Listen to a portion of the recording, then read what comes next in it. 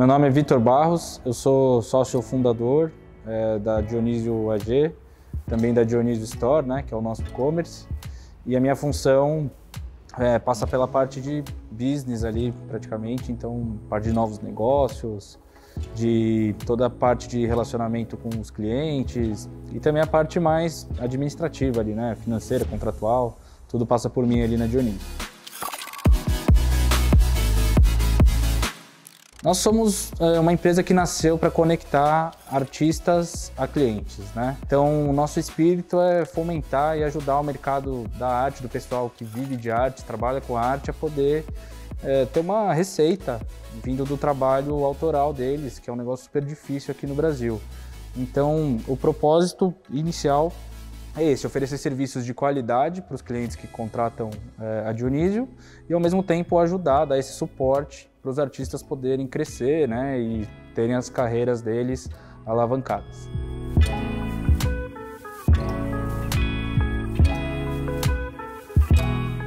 Olha, as estreias aí da Dionísio Store, a princípio são drops, que a gente chama, né?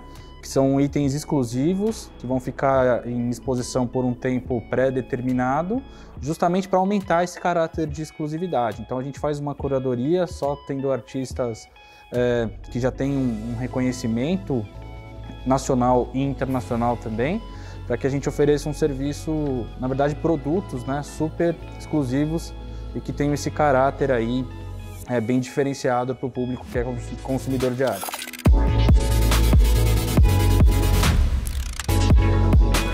Meu nome é Jean Felipe Pascales, eu sou sócio fundador da Dionísio e focado especialmente dentro da agência em projetos especiais e atendimento.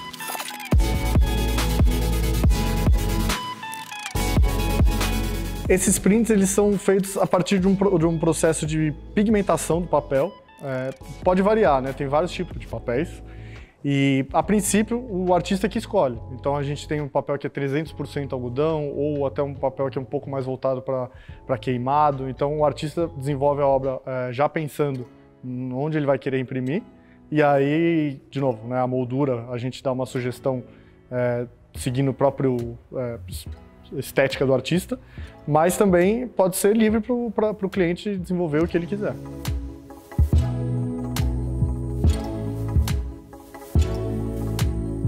Olha, a gente não, não, não, existe uma base fixa, né? Porque a gente não fecha a porta com ninguém, mas recorrente da Dionísio, a gente tem mais ou menos uns 160 artistas que trabalham com a gente. Dos artistas, funciona da seguinte forma: é, eles podem entrar em contato com a gente, ou a gente vai entrar, entrar em contato com eles é, dependendo do, de uma demanda ou dependendo de, do, de como tiver o fluxo dentro da Dionísio. E aí a gente vai pegar o portfólio, vai apresentar para o nosso curador e ele vai é, segmentar, vai dizer, olha, acredito que dá para a gente seguir nessa linha, é vendável, não é vendável, é, é só para exposição, é só para é, comercialização. Então tem, tem essas vertentes que a gente, enquanto é, admirador, não consegue é, julgar, né? É, a gente precisa realmente de um profissional, um olhar profissional.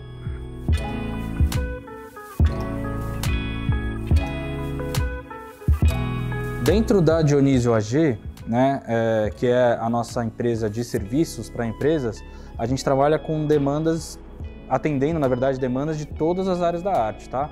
Além de pinturas, é, telas, quadros em geral, a gente faz também muita coisa de street art, né, murais, prédios, é, intervenções urbanas, então a gente pode usar aí é, linhas, pode usar também tintas especiais, por exemplo, uma tinta mais sustentável que absorve o CO2, então não só ela não polui o ar, como ela despolui o ar, né? ela melhora a qualidade do ar. A gente pode ir mais para o âmbito das artes plásticas mais tradicionais, como por exemplo esculturas, mais para o formato digital também. Então a gente faz aí motion 3D, animação, ilustrações. Também pode ir para vídeos, a gente faz ali os vídeos em 3D, produção de vídeos em si e basicamente todas as áreas da arte, tá? Então a ideia é que a gente tenha um leque muito amplo que consiga atender esse mercado aí de arte, independentemente do estilo ou do tema que o cliente queira.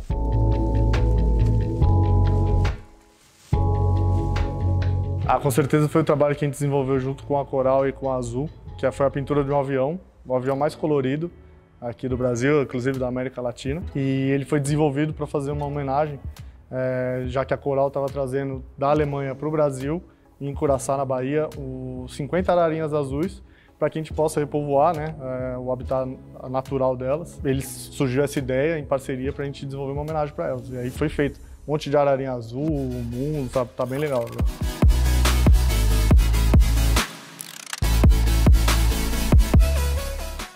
Olha, a gente sentiu que as pessoas estão se educando mais. Elas, elas tendem agora a enxergar a arte realmente como um valor, é, valor artístico mesmo, não só um detalhe, né? Isso pegou muito em empresas e, inclusive, em, em pessoas, é, pessoa física, elas focaram muito na parte de valorizar o artista, sabe? Elas viram a importância que é ter um apoiar o artista, apoiar a arte no Brasil e ver o próprio crescimento, de acompanhar o crescimento dele.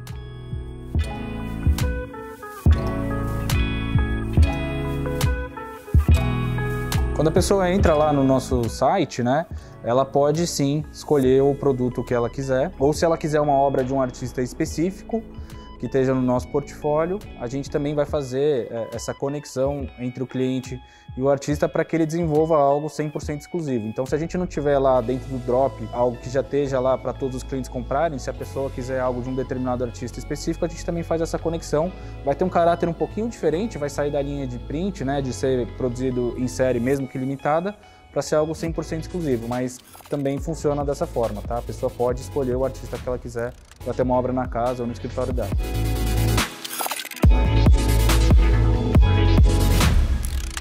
Olha, essa é uma pergunta difícil, porque a Dionísia ela trabalha com várias vertentes da arte. Tem coisas que não são comercializadas no e-commerce, né? mas tem muitas que são.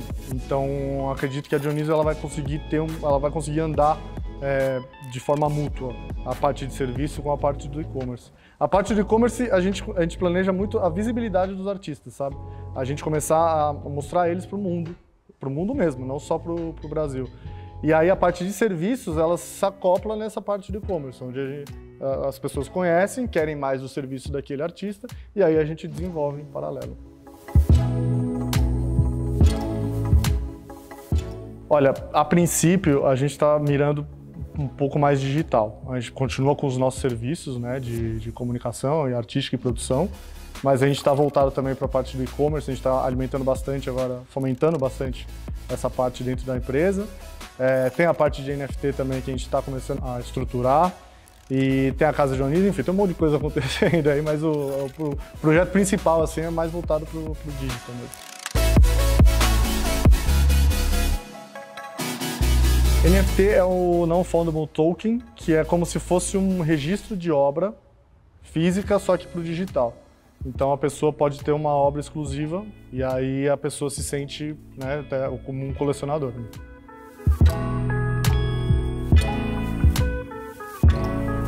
Olha, é, isso talvez não seja um papel é, da Dionísio, mas eu acho que é uma conscientização e está acontecendo. A gente quer que as pessoas entendam o valor da arte. Esse é o principal para a gente. A gente nasceu para isso, a gente nasceu para ajudar os artistas, a gente nasceu para ajudar as empresas a encontrarem os artistas, para que elas possam se tornar um diferencial para os clientes dela. Então, acho que esse é o principal, a gente fomentar que a arte no Brasil ela precisa ser valorizada.